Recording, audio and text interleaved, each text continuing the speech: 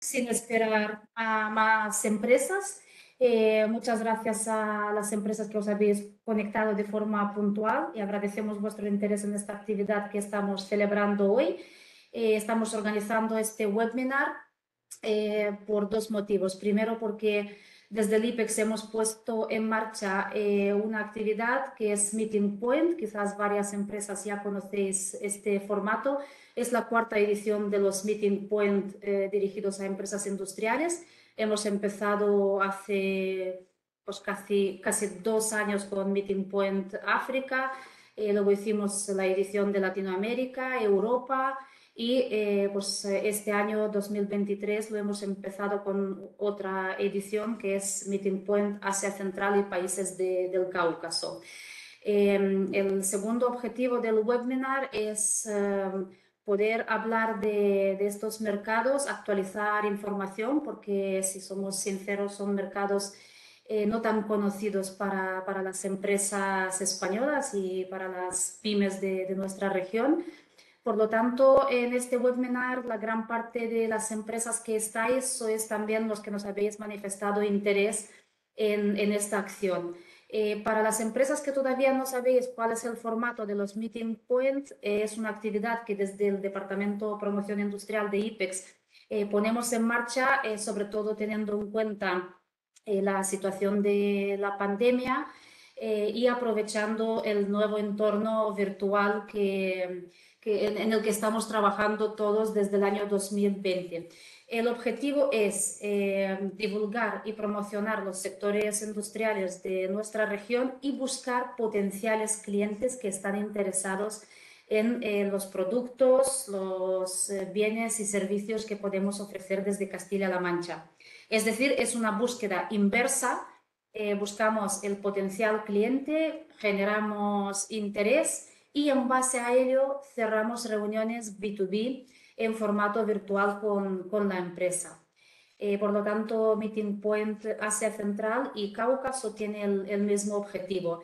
Em, en esta edición pues, nos hemos propuesto junto con la consultora Escaceta, que es ya un partner eh, con el que llevamos trabajando varios años, con los que hemos organizado también acciones presenciales y virtuales también. Eh, con, con, buen feedback por parte de, de las empresas. Pues con ellos eh, nos hemos puesto objetivo, el objetivo de eh, trabajar, por un lado, en los países de Asia Central, sobre todo Kazajstán, Uzbekistán, Tayikistán, Turkmenistán y Kirguistán, y países de la zona del Cáucaso, que son Azerbaiyán, Georgia y, Armenia. Es una acción hecha a medida, como decía, eh, primero se detecta el interés y las necesidades del potencial cliente en los países de, esta zona y en base a ello, pues nosotros eh, contactamos con las empresas de Castilla-La Mancha si finalmente hay interés y vemos que eh, se puede cerrar una reunión B2B. hay un trabajo previo, un trabajo es decir, ah, cuando captamos o cuando a través de la consultora se capta el potencial cliente, pues nos aseguramos que efectivamente eh, trabaja con estos productos o bienes industriales, que tiene interés. Es decir, todas estas reuniones se cierran cuando tanto la empresa de Castilla-La Mancha como la empresa extranjera han visto previamente la página web, el producto, etcétera. Em, de las ediciones que hemos organizado hasta ahora de los Meeting Point, pues hemos conseguido muy buenos resultados, sobre todo en Meeting Point Europa y Latinoamérica. Em, también sí que nos alegramos porque hay varias empresas que han conseguido incluso cerrar operaciones. Eh, evidentemente eh, son excepciones muy agradables, eh, pero bueno, esto nos está haciendo em, tener la ilusión de seguir organizando estas actividades. Por lo tanto, eh, no voy a hablar más. Si hay alguna eh, empresa que tiene interés eh, o quiere saber más información sobre esta actividad, pues yo creo que todos nos conocéis, nos podéis contactar. Y me gustaría ya dar paso a Adolfo Romero, que es fundador y, y, CEO de la consultora Escaceta. Ah, yo creo que es la única consultora española que está centrada en los países de Asia Central y Cáucaso, los primeros fuiste, es verdad, Adolfo. Adolfo cuenta con una amplia experiencia, incluso estuvo trabajando en la oficina comercial de España en, en Kazajstán, en Almaty, eh, y, eh, pues como decía, tiene una experiencia consolidada en, en, la zona. Adolfo nos va a actualizar la información de, de, de estos países y eh, también pues, con enfoque a, la actividad del Meeting Point que estamos organizando. Muchas gracias, Adolfo, te ofrecemos la palabra. Gracias, Violeta. Pues eh, me parece eh, genial la iniciativa de, IPEX de, de, hacer este formato de Meeting Point. Creo que sois pioneros en esto a nivel España. Yo al menos que trabajo bastante con los organismos y cámaras, no, no lo había visto antes y creo que es muy interesante y va a traer muy buenos resultados. Espero que, que sea así con nuestros mercados. Vamos a, compartir la presentación rápidamente. Voy a intentar ajustarme a aproximadamente eh, 35-40 minutos por, por, dejar espacio para, para, preguntas posteriores, aunque tenemos un poco más de margen. Yo creo que será suficiente. En, en, cualquier caso, si tenéis dudas, si queréis eh, interrumpirme en cualquier momento, mmm, no dudéis en hacerlo. Podéis escribir en el chat la pregunta o directamente, no importa incluso que, podáis hacerlo eh, si, si, la herramienta lo permite eh, con vuestro micrófono. Bueno, vamos a, a empezar. Mm, como ha dicho eh, Violeta, nosotros somos una consultora especializada en los países de Asia Central y Cáucaso. Creo que algunos ya nos conocéis de los que estáis aquí porque hemos trabajado juntos en alguna prospección. Llevamos más de 12 años trabajando en Asia Central y, y bueno, hace más de 5 o 6 años en, en, el Cáucaso, Asia Central fue nuestro primer mercado original, eh, especialmente Kazajistán, de ahí viene nuestro nombre ESKZ, que muchos se preguntan por qué. Entonces, bueno, ya tenemos muchos proyectos, más de mil eh, servicios de consultoría a nuestras espaldas y conocemos muy bien la, región. He de decir que en general eh, el sector de industrial es el sector que más exportamos a, a Asia Central y Cáucaso, por tanto, eh, tiene mucho sentido que el sector industrial sea el protagonista en este meeting point que, vamos a, que estamos ya organizando con IPEX. Bueno, siempre empiezo esta presentación y probablemente si habéis visto alguna previa mía, derribando eh, ideas que tenemos de, estos mercados. ¿no? Son mercados inestables, con conflicto. Ahora, por ejemplo, tenemos el tema de Rusia y Ucrania. ¿no? Me gustaría ahora hacer un poco de, profundizar un poquito en este tema eh, nosotros, eh, como Cáucaso, ahora veremos el mapa, estamos bastante lejos de este, de este tema, de Cáucaso y, y, Asia Central especialmente, ¿no? Muchos miles de kilómetros. Si vemos al Mati, al Mati está a miles de kilómetros del de conflicto, ¿no? Sin embargo, el conflicto con Ucrania eh, y Rusia está mucho más cerca de Europa. En nuestra zona eso, eh, tenemos gobiernos estables. Sí. Perdona, soy Teresa, perdona que te moleste. Se te ha quedado la pantalla en la configuración anterior, la del presentación. Vaya por Dios. Estas son cosas que siempre pasan. Mira Tú ya lo habías probado, pero. Mira que lo hemos probado, pero no. Pero siempre sucede. Sí, a ver, sí, a ver si podemos ponerlo como, sí, como estaba. Ahora debería estar bien, ¿no? Eh, todavía no. A, a ver. ver. Un momentito. Ahora, correcto, perdona. Ahora sí. Vale.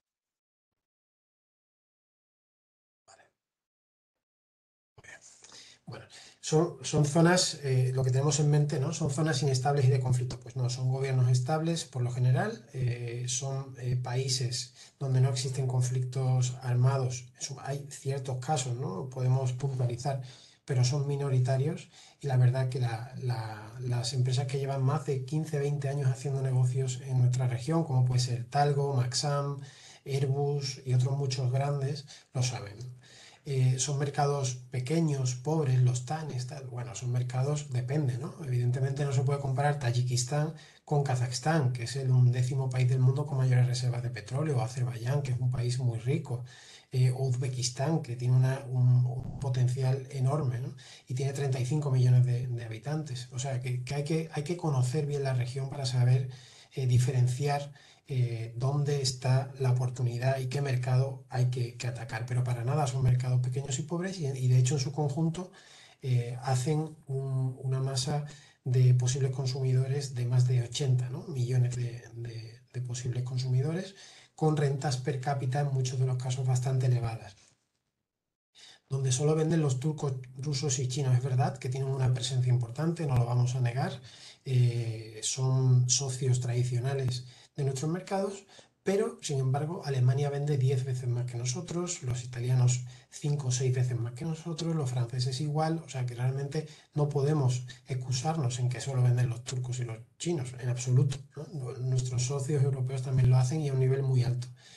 Eh, son países de riesgo de impago, donde es difícil hacer negocio, no es así. O sea, nosotros en, más de 10 años eh, hemos, conocido a un caso de, o dos casos de, de impagos que finalmente se han resuelto en el tiempo. Son muy buenos pagadores en la, realidad y los que tienen experiencia en la zona lo saben. Y finalmente la logística, ¿no? que es un gran problema, pero sin embargo, si miramos el mapa, veréis que estamos mucho más cerca eh, de Europa y de España que otros muchos mercados del mundo donde nos empeñamos en exportar, como sureste asiático, eh, Oceanía, eh, bueno, incluso está más cerca muchas veces que países de Latinoamérica. Entonces, bueno, vamos a, vamos a cambiar un poco nuestra, nuestro punto de vista de, la región, vamos a mirarlo en, clave positiva y quiero que aprendáis hoy o que conozcáis mejor las virtudes de, la zona. Nosotros... Eh, vemos eh, Cáucaso, Asia Central, como una zona de, muchísima, eh, de muchísimo futuro, con donde son países en su gran mayoría prósperos, en crecimiento, todos ellos en crecimiento, ahora veréis los datos. Son países seguros, donde se puede caminar, donde se puede pasear, donde no necesitas preocuparte porque te vayan a atracar, como ocurre en otros mercados del mundo, como Centroamérica o África son mercados donde hay un alto poder adquisitivo de ciertas élites, que, donde el lujo tiene bastante éxito, donde la moda española, la marca España tiene bastante eh, presencia y, se valora, así como nuestra tecnología. Y es un mercado que no está para nada saturado, que todavía tenemos muchas oportunidades por explorar que no están siendo explotadas por otros competidores de otros mercados eh, más allá de nuestros competidores europeos y donde mm, se, está a día de hoy concentrando un gran interés a nivel internacional, no solo de, a nivel privado, ¿no? por las empresas, sino también a nivel geopolítico y geoestratégico debido a, a este problema del conflicto de Rusia y Ucrania. Y en ese sentido vamos a, vamos a meter un poquito más de contenido eh, para, para, ver en qué situación ha dejado el conflicto de Rusia y Ucrania en nuestros países, que en todo caso ha sido positivo. Nosotros, como ha dicho mm, Violeta, somos una consultora que, que lleva muchos años en el mercado, trabajamos en todos, los, en todos los países con personal local, que es muy importante, y por eso nos permite llegar prácticamente a todos los rincones. ¿no? Damos servicios integrales en ese sentido, siempre apoyándonos en, en organismos como, como IPEX.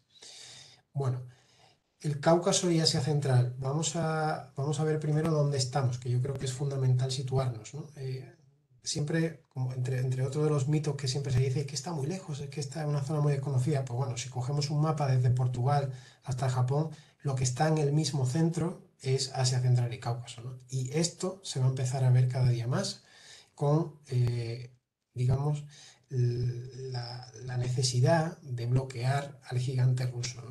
Eh, tradicionalmente las mercancías que unían Asia y, Europa iban por el corredor norte. Eso se ve muy bien en la siguiente diapositiva, que es este eh, corredor amarillo que tenemos aquí en el norte. ¿no? Era el tradicional. Sin embargo, ahora lo que vamos a hacer eh, con todo el apoyo internacional es fomentar enormemente el Middle Corridor, que cruza directamente por todos nuestros mercados. ¿Y esto qué va a originar? Pues una inversión de cientos de miles de millones de, dólares, euros, en proyectos logísticos, eh, construcción, eh, hubs, eh, para, temas de almacenaje, distribución, etc. Y van a, existir un potencial de crecimiento en todos esos campos inmenso. ¿no? Tenemos que ver también que el conflicto está aquí y muchas veces hay que ponerlo en el mapa para darnos cuenta. El conflicto de Ucrania está aquí, donde está el, símbolo de alerta. Eh, fijaos, está en plena Europa.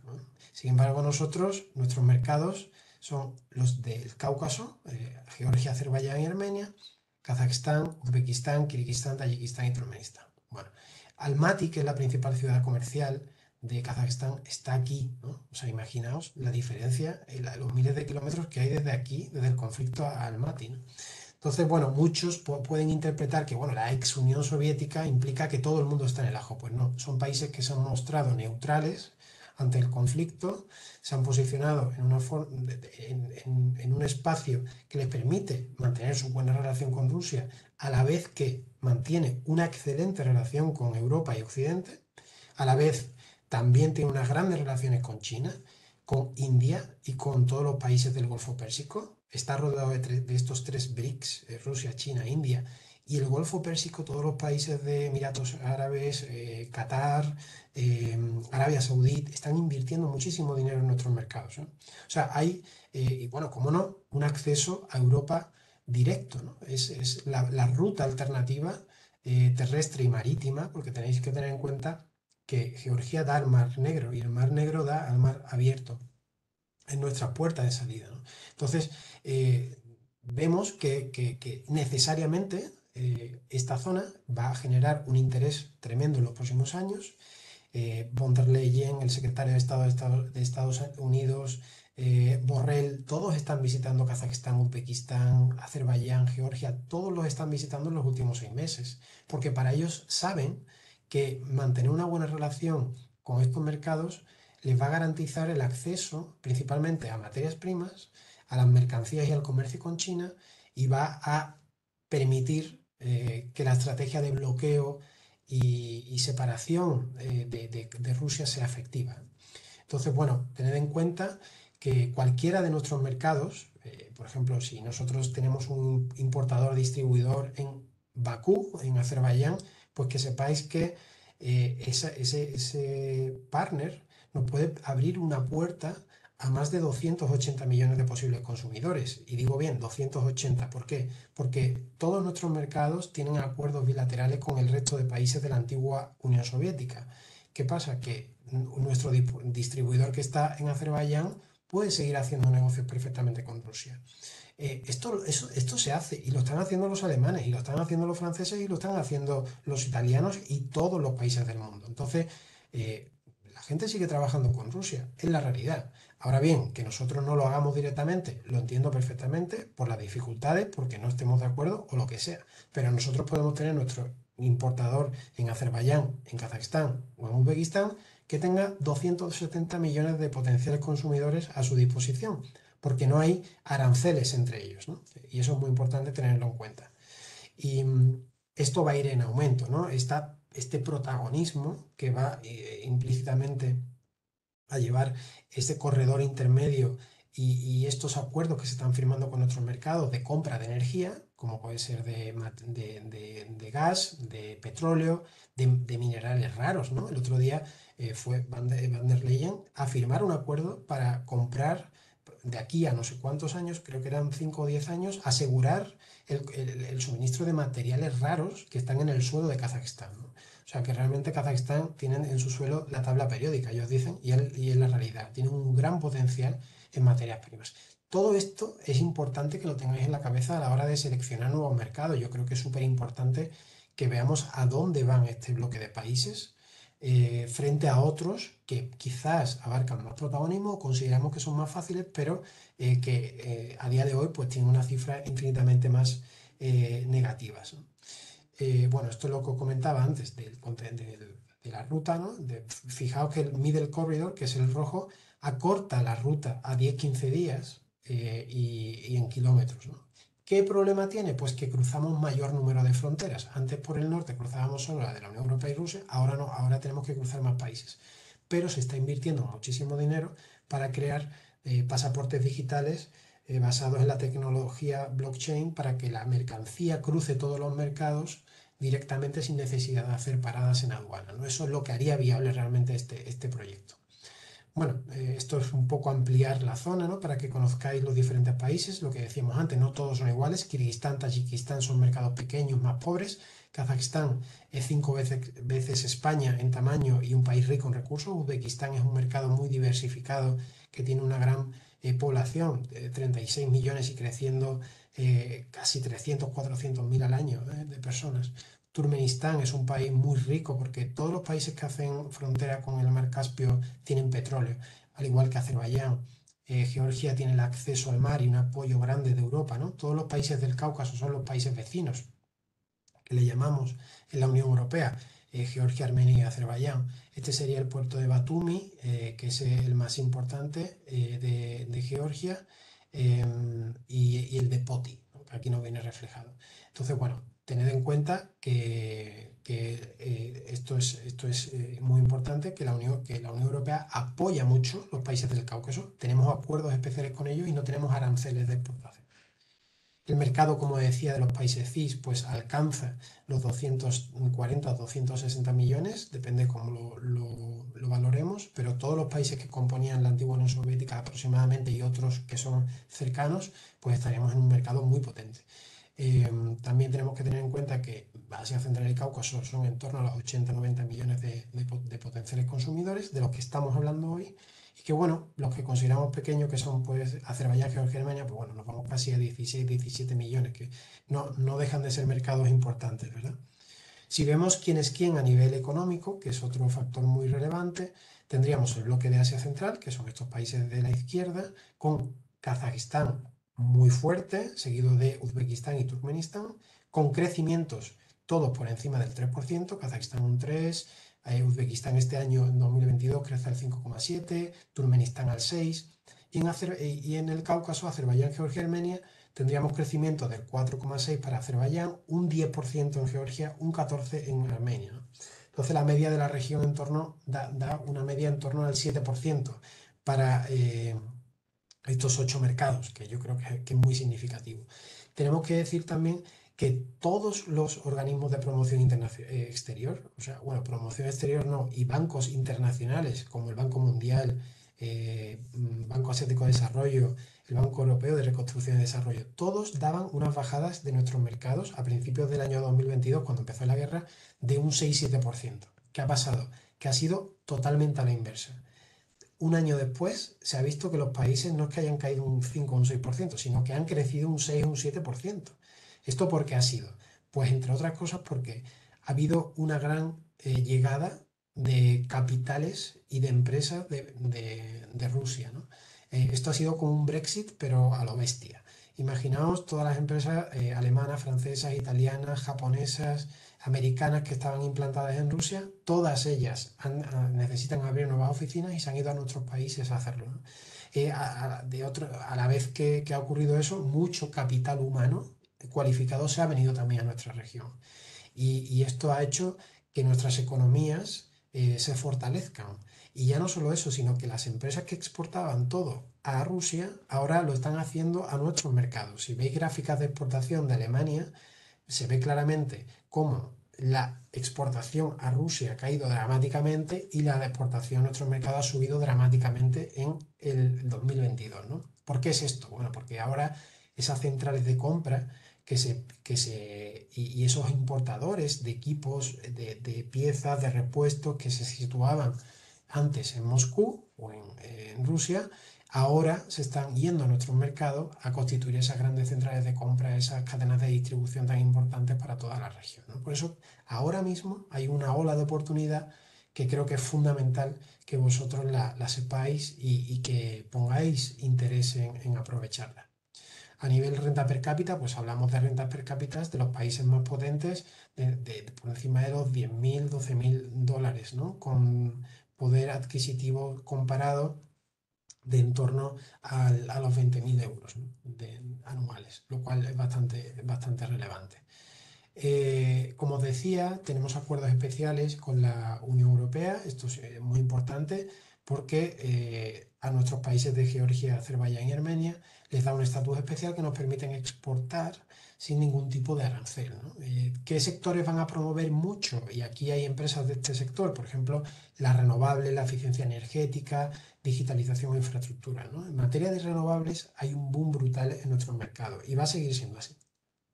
Bueno, por daros simplemente una visual rápida de los países más importantes, que nos vamos a centrar en Kazajistán, Uzbekistán, Azerbaiyán y Georgia. Kazajistán es el hermano mayor de la región, el rico, el, que antes, digamos, fue, eh, se desarrolló en infraestructuras, en madurez eh, eh, social y política. Como podéis ver, es, una, esto es Astana, es una ciudad próspera, moderna, esto es Almaty, o sea, no, vamos a un sitio, no sé, muchas veces se comparan nuestros países con países africanos e incluso con algunos países de Latinoamérica. Es que nuestros mercados son mucho más desarrollados en ese sentido, ¿no? y a veces les sorprende a, la gente. Eh, Uzbekistán, por ejemplo, pues tiene una riqueza cultural histórica impresionante. Estos son algunos de, los, de las ciudades más importantes, Bujara, Samarcanda, Jiva.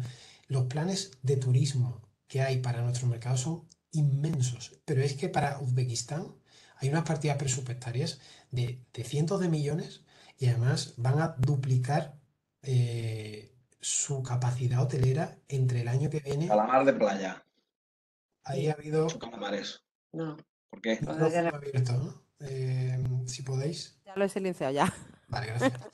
Entonces, mm, aquí realmente eh, el, tráfico de turistas está creciendo increíblemente, se están construyendo miles de hoteles nuevos y para las empresas del sector de la construcción hay una oportunidad enorme. ¿no? Y en la propia capital pues hay rascacielos nuevos, complejos nuevos de lujo, etc. ¿no? Uzbekistán está cambiando mucho.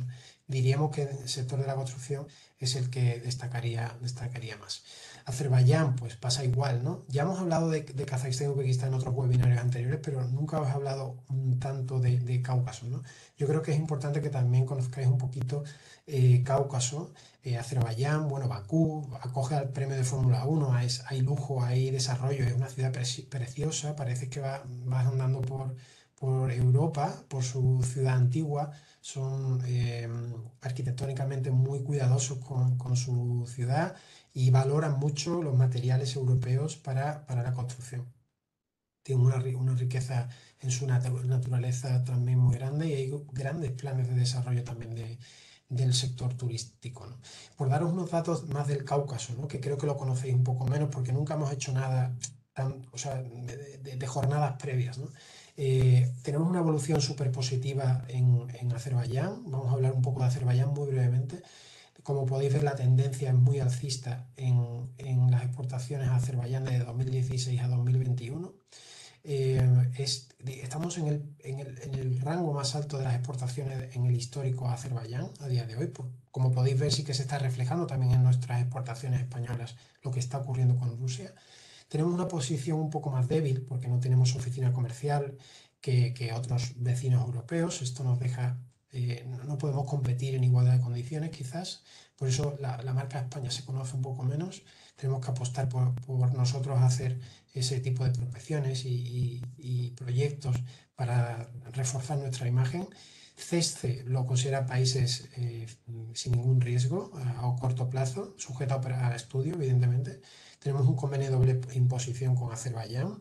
Eh, Azerbaiyán está eh, en el puesto 25 en el ranking de proveedores eh, de, de, o sea, España está en el puesto 25, perdón, eh, de exportaciones a, Azerbaiyán. Pero ¿qué pasa? Es que Alemania exportó siete veces más, Italia cinco veces más, Francia el doble, ¿no? O sea que realmente, aunque Rusia, Turquía, China estén en el top, Alemania está exportando siete, siete veces más que nosotros. Ahí también tenemos que ver que los principales productos que se están exportando son eh, productos eh, del sector industrial. Eh, eso es lo principal que tenemos para hoy, que tengamos que destacar aquí, porque bueno, hay equipamiento para navegación aérea, hay mucho tipo de equipamiento, maquinaria, materiales de construcción principalmente, pero bueno, el sector industrial es lo que abarca la, la mayoría.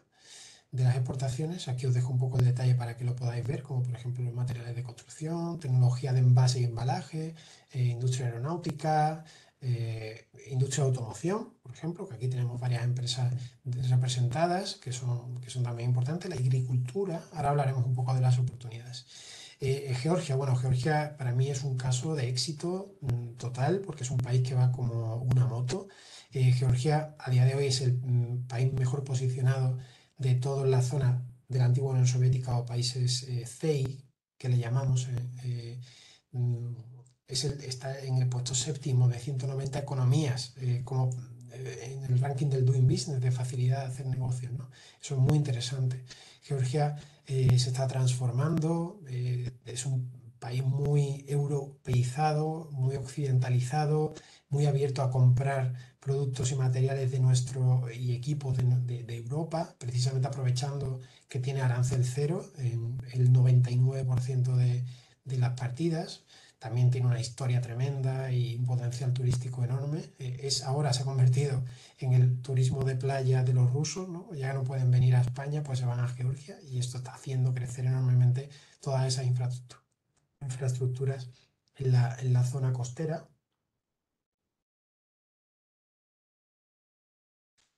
Bueno, deciros simplemente que eh, tiene una senda de crecimiento alcista desde el año 2008.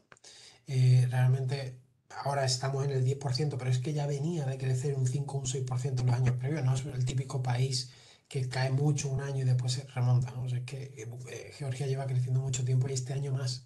Ha sido el destino de, mucho, de muchas empresas rusas y de, y de, rusos. ¿no? Georgia, si no me recuerdo mal, el otro día me decían que, había, que a día de hoy ya de, todo el flujo migratorio que ha habido ruso, en torno al 20% de la población, porque Georgia tiene una población pequeñita, en torno a los 4 millones, pues casi el 20% ya es ruso. Entonces ellos, ellos, están un poco asustados por esa avalancha de, de personas ¿no? que están llegando y de, y de inversiones. Eh, es un país fiable también, muy bien posicionado, como hemos dicho, en los rankings internacionales. Tampoco tenemos oficina comercial. Eh, en, Azerbaiyán tenemos por lo menos una, delegación, tenemos una encargada de negocio, una pequeña oficina. Aquí en, Georgia estamos trabajando para, ello. Em, desde, la administración española me refiero, nosotros sí que tenemos oficina. Hay un convenio de doble imposición también y sin duda le posiciona en el mejor eh, puesto para el, intercambio comercial de, toda la región. Eh, ¿Qué sectores son los principales de Georgia? Pues ellos sobre todo trabajan mucho el sector terciario de servicios, ¿no? Mucho sector logístico, transporte, turismo, sector bancario, pero también tienen minería, eh, tienen una industria de la construcción muy creciente en los últimos años, eh, industria de fertilizantes, eh, de, farmacéutico, de textil, bueno, también la agricultura, la agricultura está creciendo enormemente Recordad que bueno, ellos tienen una industria local muy fuerte alimentaria. Eh, la comida georgiana es como la italiana para Europa, o sea, hay restaurantes georgianos prácticamente en todos los rincones de, la zona y, son buenos productores de hortalizas, frutas, tienen un gran vino y eso le hace pues, que su sector primario eh, siga en crecimiento y sea objeto de inversiones. También hay oportunidades en ese, en ese campo. Aquí pasa un poco igual con las importaciones de Georgia, casi todo viene de Turquía, Rusia y China, pero eh, ¿qué ha pasado? Que, lo positivo que tendríamos que ver aquí es que España eh, el año pasado estaba en 91 millones de, exportación a Georgia, muy lejos de Francia, de Italia o de Alemania, pero este año, en 2022, eh, las exportaciones han crecido, ¿no? Y aunque, y aunque lo, es que no, no sé por qué no me sale el dato, pero hemos crecido un 70% las exportaciones, que es un dato bastante importante, y, la verdad que, creemos que, va a convertirse en uno de los destinos más importantes de nuestras exportaciones de la región, porque sirve de acceso y de entrada a otros mercados. Entre los sectores industriales que destacarían más, materiales de construcción, química, eh, fundición y siderurgia, eh, maquinaria de obra pública, construcción, eh, minería y transporte. Bueno, y hablando de oportunidades de negocio, ¿Qué sectores en general son importantes y, destacamos en, nuestra región? Bueno, agricultura, transporte y logística, automoción, oil and gas y minería, construcción, industria textil. Hablamos de equipos para la industria textil, renovables, aguas, industria química, gestión de residuos y medio ambiente, procesamiento de alimentos y el sector multilateral en su conjunto, o sea, financiación proveniente de instituciones multilaterales. Bueno, en este sentido, ¿qué sectores vemos que tienen interés? Bueno, la agricultura, fundamental. Creemos que la agricultura va a seguir creciendo mucho. Eh, ahora encima, con el bloqueo de Europa a, Rusia, tened en cuenta que tenemos a 140 eh, millones de potenciales consumidores que tienen que ser abastecidos y a día de hoy, pues la zona del Cáucaso, como es Azerbaiyán, Georgia, o la zona de Asia Central como Uzbekistán, que tiene un, clima muy parecido al que tenemos en España, pues están invirtiendo millones y millones y millones en proyectos de invernaderos, de árboles frutales y con ello también atrae a los sistemas de riego. ¿no? El sistema de riego es una prioridad porque precisamente tienen poca agua en muchos de estos países y las infraestructuras de agua son malísimas. Entonces, en proyectos de riego hay muchísimo negocio, ahora os hablaré un poco más de ello, pero en general eh, todo lo vinculado a la industria auxiliar de la agricultura tiene un fuerte potencial. Eh, lleva siendo así los últimos cinco años. O sea, la agricultura es protagonista siempre en nuestras presentaciones como oportunidad porque realmente sí que funciona. Ahora mismo hemos tenido la feria AgroWorld en Uzbekistán, donde han acudido siete empresas españolas con nosotros y la verdad que ha sido un éxito porque nos hemos reunido con el Ministerio de Agricultura, ha habido muchísimo interés y ahí hay campo. Infraestructuras de transporte, bueno, pues con el Middle Corridor que va a, a pasar por todos estos mercados, se va a mejorar se va a digitalizar, se va a invertir en equipamiento, en todo lo que es áreas de servicios, etcétera, etcétera, pues tenerlo en cuenta que también hay, hay un potencial brutal. El sector de la automoción, yo me centraría más en Uzbekistán. Bueno, si ven como mercado, ¿no? Como mercado fuerte. Si viéramos como mercado de reexportación, de, repuestos, de componentes, de lubricantes, de cualquier otro eh, accesorio o eh, insumo para, este sector, podríamos considerar Georgia, Azerbaiyán, Kazajistán como polo multiplicador de nuestras exportaciones porque tenemos acceso a 260 potenciales millones de potenciales consumidores que tienen sus vehículos. Pero por traer el dato de un sector concreto, de un país concreto, hablaríamos de Uzbekistán. Uzbekistán ya de por sí lleva muchos años produciendo eh, vehículos es el mayor productor de vehículos de la zona. Eso se puede ver ahora en, en esta eh, es que no, no sé por qué no se me oculta. no sé por qué no se me oculta, oculta la barra de tareas, pero bueno, aquí la barra azul eh, sería la industria, lo, que, lo que produce los vehículos que produce Uzbekistán frente a la importación de vehículos, que está en rojo.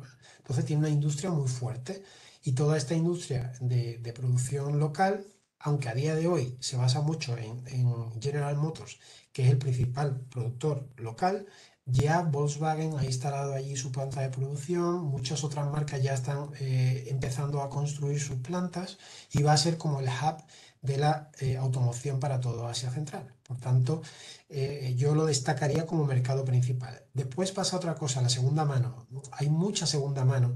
El rojo, la barra roja es la segunda mano frente al, azul que es primera mano. En todos los países se repite este patrón, por tanto necesita mucho repuesto. En temas de, repuesto de, cualquier tipo, pintura también, porque se, cuida mucho el coche de segunda mano y ahí hay un potencial. Y ya por traer otro dato es la, cantidad de matriculaciones que ha habido ¿no? y de coches registrados. Como podéis ver, en Uzbekistán ha crecido muchísimo en los últimos eh, meses para que veáis la prosperidad económica que tiene el país de Uzbekistán, que para nosotros es la joya de la corona y el país que, está creciendo a un ritmo más sostenible, más em, eh, de forma, está creciendo de forma orgánica, eh, con unos pilares muy sólidos, porque no es un país con recursos naturales como puede ser eh, Kazajstán o puede ser Azerbaiyán, que son mercados que dependen mucho de sus materias primas y, dependen mucho de los ciclos económicos mundiales. ¿no? Si la energía está alto, ellos van como una moto, como un cohete, pero si el precio del, barril cae, lo sufren mucho. Uzbekistán no, Uzbekistán es un país industrializado y, y como está industrializado y pretende modernizarse, porque hace tres años que se ha liberalizado, aquí hay una gran oportunidad de que les ayudemos en esa segunda industrialización y modernización que están, que están viviendo. En cuanto a la construcción, bueno, Azerbaiyán es un país que invierte muchísimo en construcción. Eh, de hecho, bueno, ahora hay un movimiento, hay un presupuesto gigante para la zona del Karabaj. Habréis escuchado a lo mejor la zona del Nagorno-Karabaj, que había un enfrentamiento entre Azerbaiyán y Armenia, ¿no? Eh, desgraciadamente, ese sí que fue un enfrentamiento real, aunque mucho menos eh, grande que el que tenemos con Rusia y Ucrania. Esta, la paz se firmó hace, hace año y algo eh, después de muchos eh, dimes y diretes y finalmente eh, Azerbaiyán muy superior en presupuesto, en equipamiento militar, en todo, ¿no? Entonces fue una victoria muy clara, sin posibilidad de, alargarlo, ¿no? Era absurdo. Entonces esa región de, de Karabaj, que tradicionalmente había estado ocupado por armenios, a día de hoy es un símbolo de la nación y hay miles de millones de, euros y de dólares eh, destinados al propósito de reconstruir esta zona, ¿no? con carreteras nuevas, eh, aeropuertos nuevos, eh, restauración de lugares religiosos y emblemáticos como museos, iglesias, etcétera, mezquitas. Y por tanto, bueno, ahí, hay un potencial y un presupuesto muy grande y es una oportunidad que viene en los próximos años. Uzbekistán, como hemos dicho, es mm, el crecimiento, esto lo dijo el, el presidente, ¿no? Están construyendo ciudades nuevas, tal cual, y modernizando las antiguas. Es así. hay una alta inversión privada y pública, muchos centros de negocio, residenciales de lujo, etc. Y, como te decía antes, es turístico. ¿no? Hay más de 1.500 hoteles previstos en los próximos años. Es una, barbaridad. Evidentemente, eh, no lo podemos comparar con nuestro, con nuestro turismo de, sol y playa, pero eh, tened en cuenta que Uzbekistán está rodeado por muchos millones de personas eh, rusos, chinos, indios, países del sureste asiático, países del Golfo, y ellos tienen mucho interés porque les une un componente que es la religión musulmana y en el fondo eh, esto atrae enormemente a sus miles de millones de personas que cada día visitan estos mercados. De hecho, en Bujará, eh, para, los musulmanes es un sitio de culto y hay que ir, ¿no? Después de la Meca y, creo que hay otro en medio, sería uno de los sitio más importante para su religión y eso está atrayendo a muchísimos millones de turistas. Quizá no nos atraiga tanto, pero yo cada día eh, conozco a más españoles y europeos que visitan Uzbekistán y yo realmente lo, recomiendo. Y, esto va a seguir creciendo. Tú ahora mismo vas a Samarcanda y no ves un hotel. O sea, bueno, ya sí, pero hace tres años no había hoteles donde, donde alojarse. Un hotel a, nivel europeo. Todo eso está cambiando. Todo, todos los hoteles se están renovando y hay mucho, mucho que hacer en, materiales de construcción y servicios auxiliares a, este, a este tema del turismo. La energía, bueno, la energía, ¿qué os voy a decir? Eh, Kazajistán es un país mm, petrolero y, como Azerbaiyán, ¿no? Por tanto, aquí hablamos de inversiones de miles de millones. Todos los que estéis metidos en este sector, evidentemente aquí hay un potencial brutal, sobre todo para empresas de PC de suministro de equipos, componentes o ingeniería, por resumir. Eh, hay grandes proyectos, ¿no? Y cada día salen nuevos en cuanto a refinerías, a tratamiento de aguas vinculados a este sector, eh, plantas de ciclo combinado, etcétera, etcétera. Eh, en cuanto a Uzbekistán, pues igual, Uzbekistán en este caso no es un país petrolero, pero sí que tiene eh, muchas infraestructuras de energía obsoletas. Por tanto, lo que quieren hacer es modernizarlas. Y ahí hay grandes planes de, construcción de plantas de energía y modernización de las que vienen incluso de la época soviética con presupuestos muy importantes en plantas de ciclo combinado, eh, en, compra de subestaciones, eh, plantas térmicas, etcétera, etcétera. La minería, igualmente, la minería para Kazajistán es súper importante. Como os digo, ellos dicen que caminan por la tabla periódica y no es una exageración, en la realidad.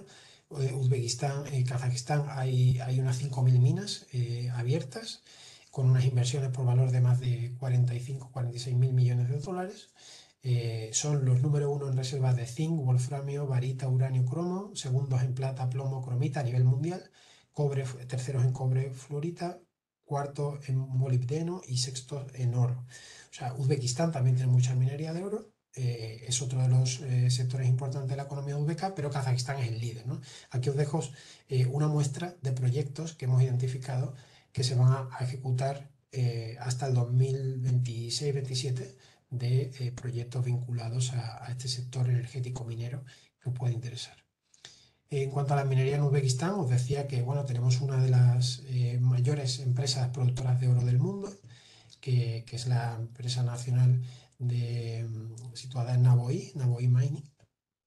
Ellos tienen mucha necesidad de renovación de plantas y equipos. Ahí hay una gran inversión presupuestada de más de 9.000 millones y se va a dar en los próximos años porque sigue siendo un valor refugio muy importante el oro y de hecho en estos momentos de crisis eh, le ha ayudado a Uzbekistán en el COVID y en, la crisis anterior a capear bien el, temporal. En cuanto a aguas, agua es un gran problema. Eh, el, agua es un gran problema en toda la región de Asia Central eh, Uzbekistán concretamente es uno de los países con una media más baja de productividad de agua. El 30% de los hogares no cuenta con agua potable. Esto es un tema que se está trabajando muy intensamente, no solo por el gobierno de Uzbekistán, sino también por, los organismos multilaterales como el Banco Mundial, el Banco Asiático y el Banco Europeo de Reconstrucción y Desarrollo. Hay muchos planes sectoriales y ayudas internacionales, por tanto os dejo esta información. Hay ya empresas como Eptisa que están haciendo muchos proyectos en materia de aguas en, la zona y realmente aquí hay un, filón que si os dedicáis al tema de agua, pues realmente eh, le prestaría atención. Ahora incluso vamos a trabajar una misión comercial con, la Asociación Nacional Española de Aguas, Fluidex, porque es un mercado fundamental para ellos. Eh, aquí os dejo proyectos de, instituciones financieras internacionales, que son bueno, Banco Mundial, Banco Asiático de Desarrollo en la zona, para que le echéis un vistazo si os interesa el sector aguas. En Kazajistán pasa algo muy parecido, pero también tenemos que tener en cuenta que la industria del oil and gas y la, y la petroquímica, que es muy importante en el país, mm, genera muchos problemas de contaminación. Entonces hay muchos, muchas oportunidades vinculadas a al cuidado del agua ¿no? Industrial principalmente. Ahí hay, hay, muchas, muchas cosas que hacer. También hay temas de desaladoras, eh, proyectos de desaladoras, de canales, de embalses que os pueden interesar. En cuanto a renovables, el, eh, Kazajistán y Uzbekistán principalmente son los más adelantados en este tema. Kazajistán tiene unos objetivos de, un, de conseguir un 10% en 2030 y un 50% de la producción de energía en 2050 renovable renovable o verdes. Aquí ponemos un poco tal porque también incluye la, la hidroeléctrica, la, la, nuclear, eh, biomasa, etcétera, ¿no? Pero bueno, eh, está en ese, en ese rango. Y sí que se están generando muchos proyectos de energía renovable, eólicos y solares en Kazajistán, aunque el que se lleva la palma es Uzbekistán. Uzbekistán tiene mucho más sentido porque no es un país que tenga recursos propios mm, fósiles y por tanto necesita esa energía, ¿no? necesita generarla y por tanto se ha metido de lleno en el desarrollo de, plantas solares y, eólicas. Y bueno, aquí os dejo un ejemplo de la última subasta de proyectos que salió ayer la noticia que se, eh, se, van a realizar eh, en torno a 12 gigas, ¿no? esos son 12.000 megas, eh, en 9 plantas solares, 7 eólicas, 9 termales ¿no? de, de, thermal energy, de aquí a 2026. Aquí ya, aunque tenemos mucho protagonismo de, de grandes actores como Aqua Power, que, que son empresas que vienen de, o Masdar, ¿no? que son empresas que vienen de, de, los países del Golfo, pues, son empresas muy potentes, que son muy agresivas en las subastas y en los tenders, poco a poco el mercado se va abriendo más a actores internacionales y ya vemos a empresas europeas, eh, empresas españolas que están participando activamente, que, que, trabajan con, han trabajado con nosotros, participan ya en los tenders de Uzbekistán y esto va a seguir siendo así. Hay unos planes brutales eh, también de llegar, con el objetivo de llegar a más del 50% en 2050 y lo van a, lo van a hacer. A este ritmo lo van a hacer seguro. Eh, os dejo aquí un poco un mapa de proyectos simbólicos de, energía renovable en, Uzbekistán. También en Cáucaso eh, podemos destacar los planes que tiene eh, Georgia y, y, Azerbaiyán de aquí a 2030. Quieren tener un 30% de energía renovable pero es muy incipiente, no es una realidad todavía, están en proceso, es un momento para llegar a aterrizar y empezar a, realizar. Tenemos un cliente también que se va a presentar ahora a un tender en Azerbaiyán eh, y, con grandes posibilidades de, ganar. Por tanto, sí que os animo a que, a que prospectéis de, ahora en esta fase porque el potencial está por venir. Eh, gestión de residuos, también muy importante, eh, el sector salud en su conjunto, equipo médico, eh, infraestructuras de salud, en telecomunicaciones igualmente, sector químico y petroquímico, evidentemente vinculado a los países más petroleros, como puede ser Azerbaiyán y Kazajistán, y finalmente, eh, bueno, eh, la industria del procesamiento de, alimentos es fundamental. Eh, creemos que, aquí va a haber mucha oportunidad, sobre todo en temas de conservación, separación, limpieza de productos, transformación de producto cárnico, temas de corte, empaquetado, mataderos, sistemas de logística, distribución, etc. bueno, de hecho, al convertirse en una región tan importante a nivel geoestratégico de transporte eh, va a convertirse en un hub de todo este tema de, la alimentación y creo que, ahí va, a haber mucho potencial por delante. Bueno, multilaterales, eh, por ya cerrar el ciclo de oportunidades, eh, sobre todo destacamos en, Uzbekistán, aunque Georgia es un gran receptor también, Kirguistán, Tayikistán, los países más pobres. Se está invirtiendo mucho en aguas, agricultura, energía, salud, eh, por parte del Banco Asiático, Banco Mundial y el Banco Europeo de Reconstrucción y Desarrollo, que son los principales actores de la zona.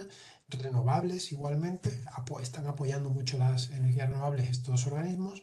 Y por, otra parte también tenemos el Organismo de Desarrollo japonés, el alemán, Naciones Unidas, la propia Comisión Europea y el European Investment Bank, que también están invirtiendo muchísimo dinero en proyectos y licitaciones multilaterales. Ya por terminar os voy a dar unos consejos que bueno, ya algunos lo habréis escuchado, algunos porque hemos trabajado juntos, pero hay un alto desconocimiento al final por parte de las empresas españolas de la zona, pero también viceversa. ¿no? Eh, creemos que todos los uzbecos nos van a conocer y no es así. ¿Por qué? Porque no les hacemos mucho caso. Igual que nosotros no conocemos Uzbekistán, los uzbecos tampoco conocen mucho España. ¿no? Entonces sí que conocen a los alemanes, a los italianos o a los franceses porque van a visitarle. Entonces tenemos que hacer un esfuerzo realmente por dar a conocer nuestra oferta eh, en cuanto la conocen y ven calidad-precio, ah, eh, es increíble la reacción que tienen. No solo están acostumbrados a que el alemán o el francés les cobre tres veces más por productos iguales que los nuestros y realmente la, sensación siempre es grata y es buena y nos reciben con los brazos abiertos. Hay que guiarse por los expertos, eh, hay que tener acceso a las élites locales y a los organismos y agencias del gobierno. Hay una alta rotación, eso sí, en los cargos públicos, que, es un, un, hándicap que tenemos que ir cultivando, que tenemos que ir manteniendo en el tiempo. Eh, es muy importante la relación personal, yo creo que todo se basa en eso, en nuestros mercados, tenéis que cuidarla mucho, eh, darle un especial cariño a esos importadores o a esos posibles clientes que tengamos en la zona, porque son muy de relaciones personales y, cercanas, ¿no? Hay que tener paciencia, eh, pero normalmente cuando consolidas la venta es duradera existen barreras lingüísticas. A día de hoy se habla mucho el idioma local, el uzbeco, el uzbeco, el kazajo, el kazajo, el armenio, el armenio, el, georgiano, el georgiano. Eh, el ruso eh, se habla de forma común en todos estos mercados eh, y, el inglés, pues normalmente con las personas de mediana edad para abajo. Entonces, bueno, a la hora de vender, como el responsable, el director va a ser alguien más senior, debemos de llevar un apoyo lingüístico con traductores eh, que, nos ayuden en la comunicación y esa comunicación después del seguimiento evitar eh, que se base solo y exclusivamente en el email. A ellos les gusta, eh, les gusta hablar, les gusta que le llamen por teléfono o, incluso por WhatsApp o Telegram, ¿no? pero el tema del email todavía no se trabaja al, mismo nivel que, en Europa. Hay mucha calidad humana, son gente amable, hospitalaria, educada y formada y realmente lo, lo, vais a notar, ¿no? lo vais a notar. En el caso eh, de conseguir proyectos en la zona, eh, podemos optar siempre por una sociedad local, por constituir sociedades locales. Si, hablamos de un proyecto donde necesitamos eh, tener a nuestro equipo para desarrollarlo o dar un mantenimiento postventa, normalmente es fácil abrir sociedades en nuestra región. se puede tardar como mucho uno o dos meses, incluso en Georgia se puede abrir en cuestión de días. pero bueno, también se pueden hacer eh, acuerdos con socios locales que sirvan de implementing partners para que así sea más sencillo, ¿no? Un poco el tema de la repatriación, de la facturación y demás. Pero todo eso eh, es viable y es posible. Em, en cuanto a, dar la distribución o la, la, representación a una empresa local, es importante elegir bien a quién se las das, porque no se suele compartir la, exclusividad. ¿eh? Yo por decir un dato, aquí eh, Kazajistán, si, tenéis una estrategia de, regional, Kazajistán debería tener su distribuidor, Uzbekistán debería tener su distribuidor, el resto de países se pueden trabajar con Kazajistán y Uzbekistán de Asia Central. Si nos vamos al Cáucaso, Azerbaiyán normalmente tiene que tener su distribuidor, Georgia igualmente, y Armenia normalmente se puede trabajar desde Georgia. Si optamos solo por tener un distribuidor en todo el Cáucaso, debería de ser en Georgia. Porque como hay un poco de enemistad entre azerbaiyanos y, armenios, el, georgiano normalmente trabaja bien con ambos, se lleva bien con los dos y los distribuidores suelen abarcar la zona del Cáucaso completo y, y tendría sentido. En cuanto a los pagos, podemos pedir 50, 70, incluso 100% por adelantado, es algo habitual y normalmente no se usa la carta de crédito. En cuanto a la seguridad jurídica, pues son países bastante seguros, eh, tienen eh, seguridad jurídica, pero bueno, ya sabéis que lo mejor para evitar eh, un impago, si hablamos de, de, una empresa local, nosotros siempre recomendamos que se haga bajo la ley del destino, ¿no? porque allí será mucho más fácil conseguir que la ley eh, ejecute y ejecute en su contra y podamos recuperar el, dinero. Aunque afortunadamente, como digo, son buenos pagadores. Existe competencia de turcos y rusos, pero bueno, tenemos siempre que tener en la cabeza que nosotros tenemos que competir con, los, alemanes, con los franceses, italianos, japoneses o coreanos, pero no con los turcos y rusos, y eso tenemos que explicárselo a nuestros clientes. Y finalmente, estudiad muy bien la ruta de transporte. Normalmente recomendamos que se deje esa responsabilidad sobre el importador. El otro día me contaba un importador de Georgia de alimentación, en este caso, que decía, mira, nosotros lo que hacemos es consolidar todo en Italia y, de ahí nos lo traemos directamente. Si tú incluso no me lo puedes dejar en Italia, no te preocupes. Yo mando un camión de, España a Italia y en Italia ya, en nuestra central de compra, ya lo traemos para acá. O sea, ellos saben cómo hacerlo. ¿no? Aquellos importadores que trabajan con Europa tienen más que claro la forma de transporte más adecuada y más económica para que el producto no se encarezca demasiado.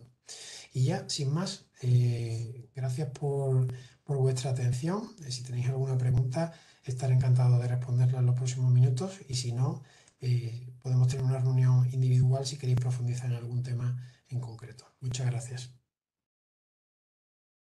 Muchas gracias, Adolfo, por la presentación, por haber mencionado los principales sectores de oportunidad, que varios de ellos están presentes en, este webinar. Y eh, a continuación, sí que teniendo en cuenta que somos un grupo reducido de empresas, estamos en confianza. Eh, por lo tanto, os invitamos a que formuléis las preguntas que podáis tener. Em, cualquier, bueno, aprovechando que está Adolfo, Janina con nosotros, eh, tanto de los mercados como de la actividad del Meeting Point. Por lo tanto, pues eh, ofrecemos la palabra a las, a las empresas.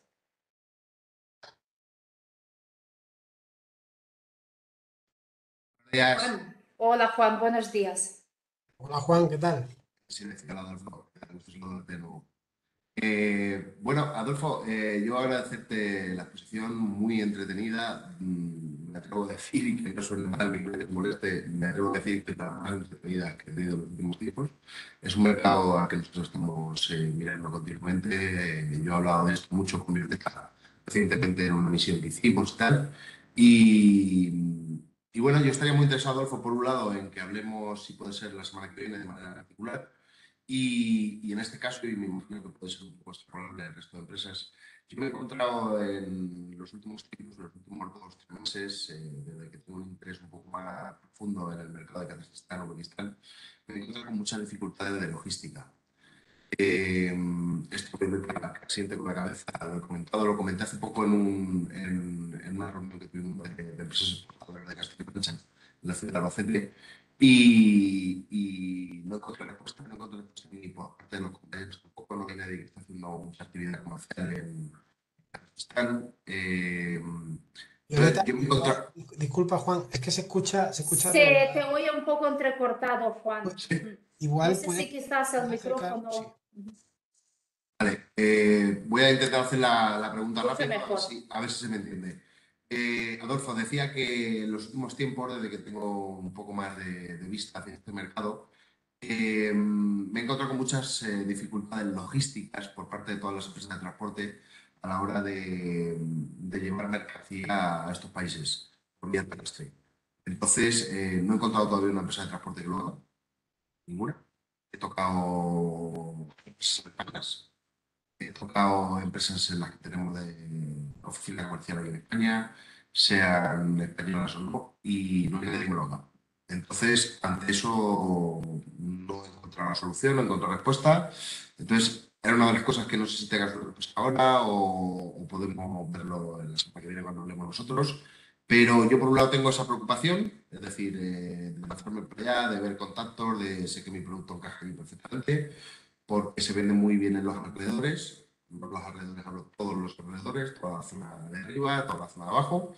Pero en estos mercados no tengo posibilidad de transporte, de, de solución. Entonces, si yo llego allí tengo una buena oferta de, de producto, unos buenos precios, pero no tengo solución logística, ellos no van a dar. La mayoría de ellos, el gran importador, sí quizás tenga una solución logística, pero el importador local eh, no va a tener una solución logística. Entonces, no sé si este tema lo podemos tocar ahora o lo hablamos luego de manera personal. Sí, eh, yo, creo que al margen de que podamos profundizar un poco la semana que viene y tengamos una, una breve reunión para hablar de esto o más cosas, eh, o sea, realmente la mercancía llega, ¿no? Es, es un dato obvio porque los datos numéricos están ahí. Hay formas de llegar y lo único que realmente tenemos que encontrar eh, una empresa de confianza. Tenemos un hándicap que en España hay muy pocas empresas que trabajan bien con estos mercados sin que lo encarezcan demasiado. A ver las ailas, pero son muy caras. Entonces, normalmente yo te recomendaría trabajar con empresas de, países bálticos eh, que son mm, súper activas con la exportación a, nuestros mercados. De hecho, te puedo mandar varios contactos de, de empresas de transporte y hay una de ellas que se llama Sturbalas, que normalmente eh, trabaja muy bien en estos países y la gente que hemos recomendado suelen estar bastante contentos. Y, mm, y por otro lado, cuando me refiero a, los importadores locales, si el importador local tiene experiencia trabajando con Europa, él te va a dar una solución. ¿Qué pasa? Que hay importadores que no trabajan con Europa y aunque trabajen con producto europeo, no trabajan con Europa. Quiero decir que a lo mejor esa empresa trabajaba importando desde Rusia, ¿no? Lo puede hacer perfectamente y era mucho más cómodo. Ahora ya no lo puede hacer. Entonces esa empresa se tiene que buscar la vida y en eso están. Entonces probablemente eh, ya esas empresas que antes mm, a lo mejor te decían es que yo me lo traigo de Rusia y así no me complico la vida, ya van a cambiar a su discurso y ya están buscando soluciones en este momento. También hay empresas locales que, trabajan muy bien en el mercado de, Europa y que también te podemos recomendar. y bueno, yo creo que nosotros hicimos una prospección hace dos o tres años, si no recuerdo mal, eh, ¿verdad? Sí, una misión virtual. Hicimos una misión virtual. ha cambiado 2021. mucho. Me imagino. Me imagino. Estamos en todo ese proceso, de ahí mi interés y tal, y de ahí mi interés sobre todo en poder hablar contigo de cosas a más, es decir, de una posibilidad de viaje para allá, misión comercial en particular para la empresa. Es decir, pero sí me interesa, Adolfo, mírate la agenda si puedes tal, hablemos más pronto que tarde. Muy bien, perfecto, Juan. Pues eso. ya, ya la molesto más, para los micros. Y nada, la logística la superamos, ¿eh? No te preocupes que buscamos la forma, ¿eh? No, no se puede, no se puede. Muchas gracias, Juan. Muy bien, gracias, Juan. ¿Hay alguna otra empresa que quiera hablar? buenos días. Hola, Greta, buenos días. Mira, yo tenía una pregunta que la he dejado caer un poquito ahí, ¿no? Eh, el tema para mí es mucha competencia las empresas turcas, ¿no? Me parece muy interesante el mercado. Entonces, eh, ¿Turquía tiene conflictos con la zona o es complicado? ¿Cómo es en este momento las importaciones de Turquía hacia, hacia la zona? Adolfo Edurne está en el, en el, sector material de eh, iluminación. iluminación. sí. iluminación, vale. Eh, bueno, en principio Turquía mantiene una, una, excelente relación con todos los mercados de, de la zona. no hay ningún tipo de conflicto ni ningún impedimento para ellos en exportar a nuestros mercados. Son, son muy listos. Ellos son de la OTAN, ellos son pro Sí, teoría, ¿no? Pro europeos occidentales, pero ellos no han sancionado incluso a Rusia y siguen haciendo Vale. con Rusia y han sido uno de los grandes beneficiados de, de todo lo que está pasando también. Eh, ¿qué pasa? Y esto que no se malinterprete, pero los turcos llevan muchos años vendiendo por debajo des- del precio español diciendo que, son, que, que tienen la misma calidad que los europeos. sí, Y mm, los, los kazajos, los uzbecos, poco a poco se están dando cuenta que eso no es verdad. Y eso está Mm. pasando en muchos sectores de la economía, pero entre otros en la construcción y en la agricultura, especialmente. No, no voy a decir nada Sí. desastre que ha pasado en Turquía recientemente, pero es que eso se está reflejando en lo que han hecho anteriormente en nuestros mercados. Sí. han ido vendiendo un estándar europeo cuando realmente estaban ofreciendo unas soluciones muy por debajo de la solución técnica y de calidad que estábamos ofreciendo desde Europa. Y el uzbeco lo está aprendiendo. Y el que invirtió en un, por ejemplo, en un invernadero turco hace cuatro años y a día de hoy la cosecha y el invernadero está para tirarlo, ese no vuelva a comprar un invernadero turco. Y poco a poco Vale. esa imagen país está calando. Entonces, evidentemente los turcos tienen productos buenos, eso es Sí. son buenos fabricantes y dan calidad, pero no, no puede ser que, que den duros a pesetas, ¿no? No puede ser. Entonces, hay- sí, cuando ya el turco de calidad compite realmente con cosas de calidad con nosotros, ya, ya no hay tanta diferencia. Y ahí ya está el tener a un importador o a un partner que realmente quiera apostar por una solución europea. Y, y ahí ya vamos a jugar casi en igualdad de condiciones. vale. Pues nada, perfecto. Muchas gracias. Muy interesante. Son países, eh, hay un Sí. par que les tengo en el foco. O sea, La iluminación es un sector súper interesante. ¿eh? lo sé, para fachadas y tema de proyección, sobre todo el tema industrial y carreteras, eso me interesa. Totalmente, totalmente. Hay muchísimo dinero Sí, y, y mucho de fondos multilaterales en, en Mm. temas de iluminación, muchísimo. Hay, hay, hay presupuestos de cientos de millones para, para ese tema. no, no, por eso, por eso me interesa mucho.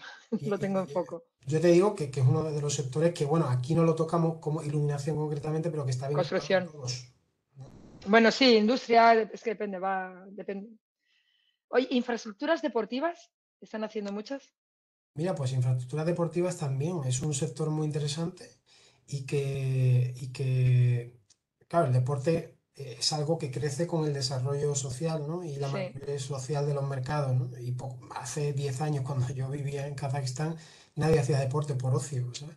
Y, y a día de hoy, pues, eh, están proliferando muchísimo las instalaciones deportivas en todos estos mercados, con estadios nuevos y, y demás, ¿no? Eh, evidentemente el deporte está cogiendo mucha relevancia Se está y- haciendo. y- queda mucho desarrollo por, por delante, ¿no? No es como Europa, que hay 200 Mejor, de, de- de fútbol y de 20.000 No, no, cosas. no, es que me interesa el comienzo. Me Claro, interesa exactamente, exactamente. Genial. Lo, lo- podemos Lo hablamos, sí. una pequeña reunión y te lo, te lo cuento en detalle un poco más. Sí, sí, sí, sin problema. Y os explico lo que hacemos. Genial, muy interesante. Gracias, ¿eh? Gracias a ti. Gracias, Edurne. Eh, a lo mejor a través del Meeting Point sí que podemos también apoyaros para que al menos puedan tener alguna reunión con potenciales clientes, importadores, porque esto sí que nos va a servir de, de ayuda. Eh, ¿hay alguna otra empresa que, que quieren intervenir o que quieren plantear alguna duda, alguna consulta? Aquí hay sectores muy interesantes. Donad, por favor, de eh, Molecor.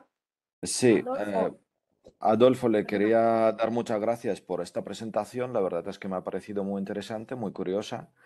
Em, ¿existe oportunidad de enviarnos esta presentación para em, analizar los datos que aparecen ahí? Eh, la verdad es que sería muy curioso. Sí, sí, sí, no hay ningún problema. em, eh, me pareció muy interesante porque me muevo muy activamente por esta zona. Apoyo a Juan que el problema logístico eh, es uno de los más grandes que hay para la región, sobre todo si estamos hablando de Kazajistán y Uzbekistán, sobre todo, que no tiene costa. El precio logístico mm, es matador, es un asesino que, que te come todo el margen posible. Eh, aparte, eh, precisamente Uzbekistán eh, tiende a incitar a los posibles inversores a establecer la producción localmente.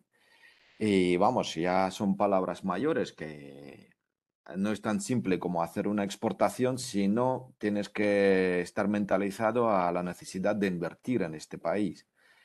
Y, ya son, digamos, ah, otro formato de cuestiones y problemas futuros que pueden aparecer.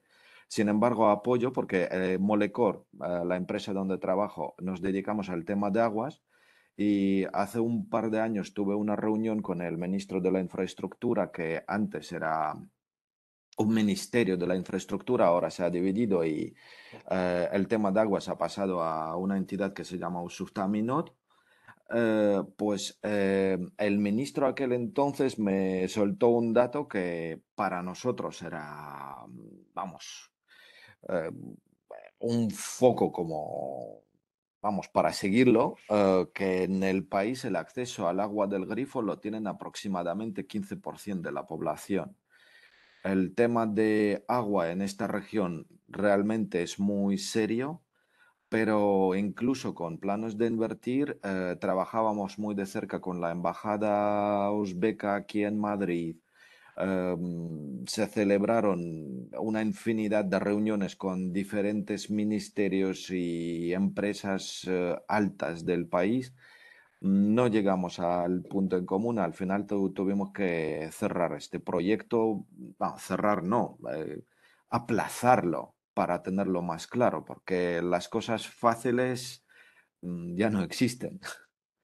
Eh, cada proyecto hay que lucharlo, lucharlo muy duramente. La mentalidad de toda esta región es bastante compleja. Eh, en mi caso, um, eh, soy originario de la zona de Cáucaso y vamos, en, en, este ámbito me muevo con bastante soltura, pero para una empresa española introducirse en este mundo con protocolos no escritos es bastante complejo y como bien dijo Adolfo, pues eh, son gente muy hospitalaria, pero a la vez eh, existen unos protocolos culturales entre ellos que ah, una mirada puede jorobar por completo una negociación previa.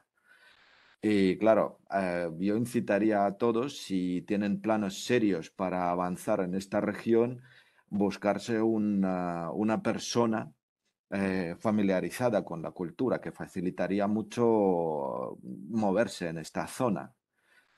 Y una pregunta, Adolfo, que también quería hacer, eh, por lo que tengo entendido, Azerbaiyán y Armenia son dos países autoexcluyentes. Si trabajas en uno, el otro te está viendo mal. Eh, ¿Tú qué tal lo ves? Gracias, Donat. Eh, si quieres, te, comento varias cosillas. Em, evidentemente, vienes de un sector eh, que, es la fabricación de tuberías, ¿no? Si no recuerdo mal, que, vosotros evidentemente vendéis un producto que tiene mucho sentido que se fabrique localmente. De hecho, hay empresas eh, grandes que no, ya, algunos lo saben, otros no, que han invertido eh, en Kazajistán, en Uzbekistán, eh, las grandes de tuberías de, España, están fabricando localmente, pero porque, como tú dices, ¿no? O sea, el transporte para tu producto, para una tubería con un diámetro de no sé cuántos metros, es, muy complicado transportarla, ¿no? No, ¿no? no hablaríamos de lo mismo. Aquí, evidentemente, para tu producto el transporte penaliza enormemente y la solución única posible es la implantación, eh, o prácticamente la única, ¿no? Entonces sí que hay que diferenciar entre unos sectores y otros. Nosotros al final tenemos clientes de todo tipo, hemos visto de todo, y hay empresas que van, visitan Kazajistán, Uzbekistán o Azerbaiyán o Georgia en un viaje y hacen una venta de un contenedor de lo que sea. Pero claro, es otro tipo a lo mejor de equipos o productos que sí que tienen un valor añadido que permite absorber ese coste logístico y que justifica la operación. Pero bueno, te doy la razón que hay algunos productos que evidentemente la dificultad logística mm, impide que se haga a través de una, de una exportación directa. No, no, no, es viable. En cuanto a tu pregunta, bueno, en cuanto al tema de, mm, de, las embajadas, de, lo difícil que es hacer negocios entre, que, sí que es cierto, ¿no? que te marean muchas veces con tal, pero mi, experiencia me, ha dicho en estos más de 10 años que todo, y esto es políticamente a lo mejor incorrecto, pero que este tema de inversiones privadas, inversiones empresariales, está bien que tengamos un cierto apoyo externo de la embajada, eh, de las instituciones, de las oficinas comerciales, etcétera, pero yo, todo lo que ha tenido éxito, que yo conozca claramente, ha surgido de iniciativas privadas B2B con empresarios locales que les gusta el proyecto y que tienen dinero para invertir en ella y la han puesto en marcha. Hablo de implantaciones y creación de, producción local en Kazajstán, Uzbekistán, Cáucaso, en cualquier país de la zona. Todo lo que ha ido a través de muchas reuniones de embajadas, de tal, organismos públicos, ministerios, tal, al final no, no sale. La realidad, se llevan 20 años discutiendo. Los que sí que triunfan ahí, normalmente, son los grandes, ¿no? Llega Suez y firma un acuerdo de mil millones con el gobierno de Uzbekistán. Pues sí, ellos sí pueden. Pero todo lo que sean pymes, yo os animaría a que os olvidéis de ese flujo ministerial, público, embajadas, etcétera, y vayáis al grano a conocer a un, tipo del sector que ya produzca tuberías localmente, que quiera dar un salto de calidad, que se quiera meter en esto con nosotros y que, tengáis un socio local que, os permita que esto se, se haga realidad. ¿no? Es, mi, consejo. Y finalmente, entre el, en el Cáucaso, yo no diría que es excluyente, siempre que no tengas un distribuidor en Azerbaiyán que le venda al armenio. Eso sí es excluyente. O un armenio que le venda al azerí. Eso es excluyente. Lo que nosotros eh, hemos visto y lo que hacen nuestros clientes habitualmente es tener o bien un distribuidor en Georgia, que él distribuye tanto a Azerbaiyán como a Armenia y lo hace sin, sin mayor problema, o tener un distribuidor en Azerbaiyán y otro distribuidor en Armenia o en Georgia que cubra esos dos mercados o uno en cada uno. O sea, depende de lo que tú tengas, ¿no? Si tienes mucho volumen, puedes tener uno en cada uno. Si no tienes tanto volumen, puedes tener uno en Georgia que cubra el Cáucaso. Habitualmente es así y nunca hemos recibido ese, eh, esa, bueno, esa noticia de que eh, si vendes en Uzbekistán, en Azerbaiyán no puedes vender en Armenia no, no lo hemos visto, pero si tú me lo cuentas es por algo. Entonces, eh, todo puede ser que, haya, que hayas tenido a lo mejor esa, experiencia y no, te, no hayas podido, no sé, hayas tenido alguna dificultad en ese sentido. Pero eso sí que es cierto. Si, si tienes a un distribuidor que tiene toda la exclusividad del Cáucaso en Azerbaiyán, es muy probable que en Armenia no vayas a entrar. Eso sí es cierto. Ok, muchas gracias. Y si quieres donar, cuando quieras charlamos más profundamente eh, y os pasamos la presentación, no os preocupéis. Fenomenal, fenomenal, gracias. A ti. Perfecto, gracias. Em, ¿Alguna empresa más? Me pareció antes que Juana eh, querías intervenir. Sí, sí. Hola, Adolfo. Hola, hola. ¿Se me oye bien? Sí, sí, sí, te oigo. Eh, una, una, pregunta que me surge, el certificado EAC, eh, que me imagino que soy familiar, es que lo piden en los países de la Unión Aduanera, Kazajstán sobre todo, y Kirguistán últimamente. Em, ¿Cuáles son los mecanismos para, para conseguirlo? ¿Es difícil? ¿Qué producto vendes? Eh, disculpa. ¿Cómo? ¿Qué producto, qué sector? Automoción, auto, automoción, recambios de, motor. Vale, normalmente no suele haber ninguna dificultad en ese, sello. El, sello EAC suele, suele ser bastante, eh, para algunos productos, bastante sencillo de conseguir.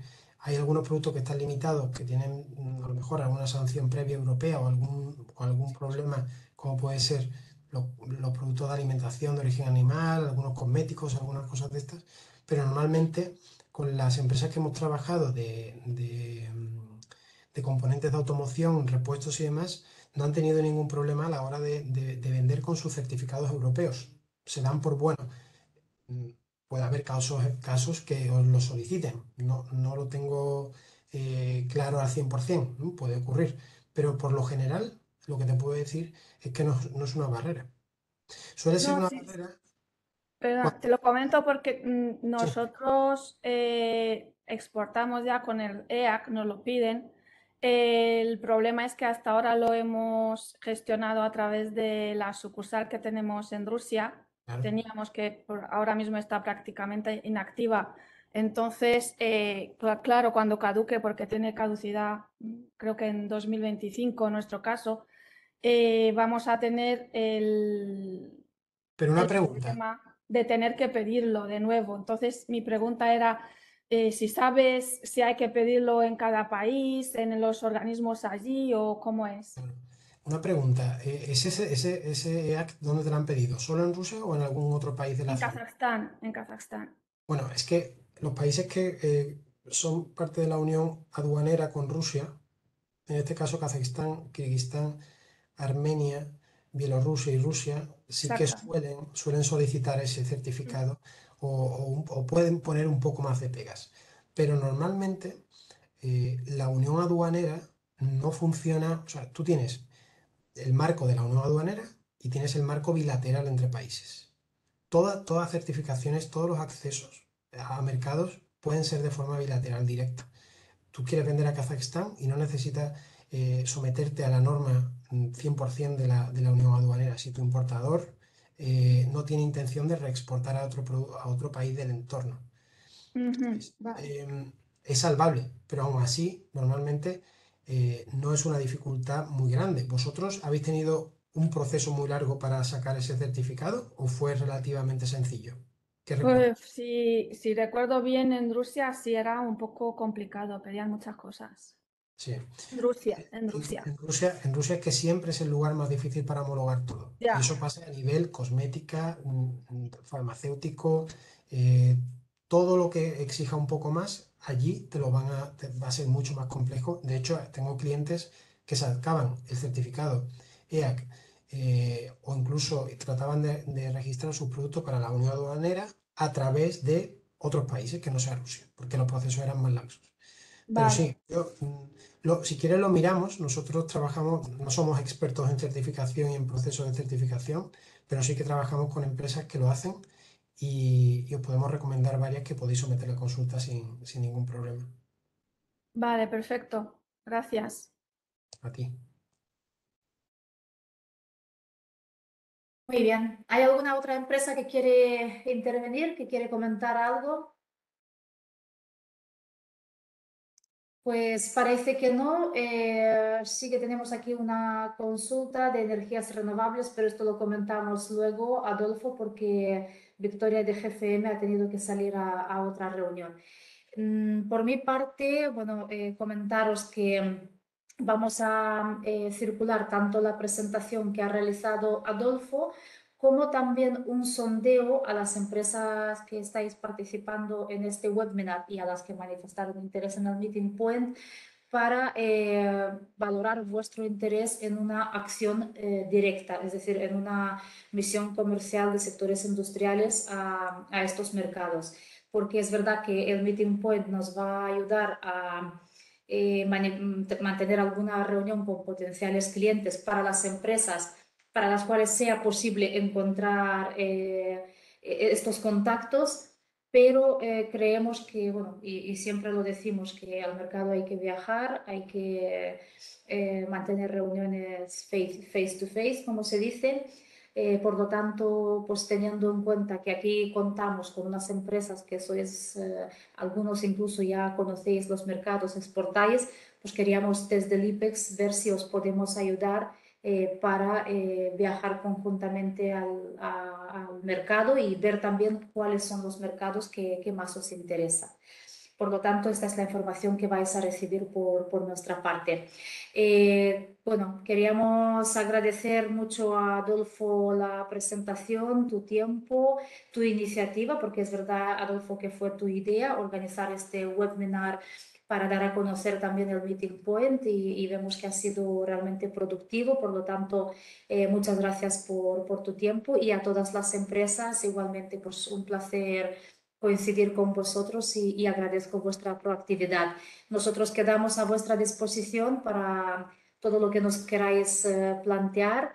Eh, nuestras actividades las podéis encontrar en la página web de IPEX, en acciones para bienes industriales. Ahí está el plan actualizado para que podáis conocer qué actividades estamos organizando eh, y convocatorias que vamos a sacar en los próximos meses.